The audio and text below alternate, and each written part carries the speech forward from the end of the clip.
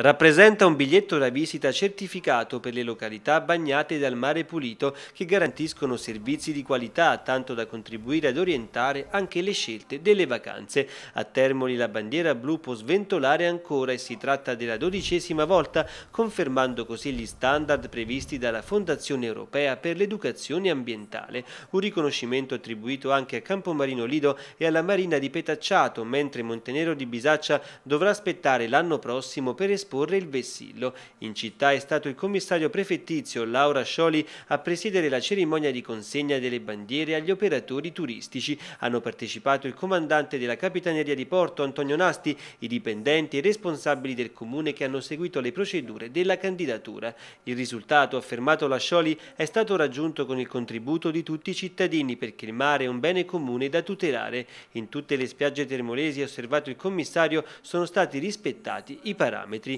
La bandiera aggiunto il capitano Nasti evidenzia che questo territorio ha saputo conquistare il riconoscimento che mi inorgoglisce come cittadino acquisito e premia anche il lavoro svolto dall'autorità marittima, un lavoro di sinergia che ha premiato tutta la comunità, tanti obblighi che devono essere rispettati dai balneatori e dal comune anche in vista dei controlli campione che saranno svolti direttamente dalla Fondazione Europea.